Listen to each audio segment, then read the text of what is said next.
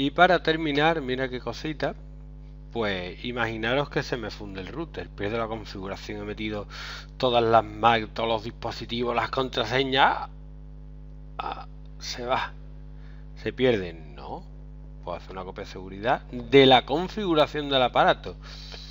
Esa copia de seguridad había que descargarla, ¿vale? Y tenerla.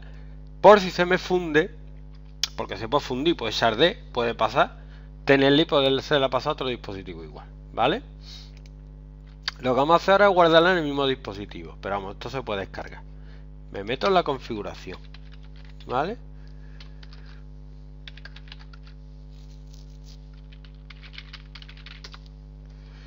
Y me meto en administración.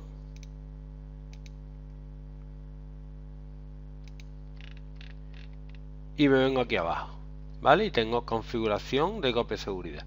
Y aquí tengo tres copias de seguridad. Que quiero otra con otro nombre, pues le cambio el nombre, ¿vale?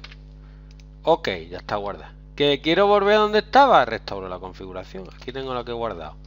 Empiezo a restaurar y se me queda como estaba. Fácil, fácil, ¿vale? Pues ya está.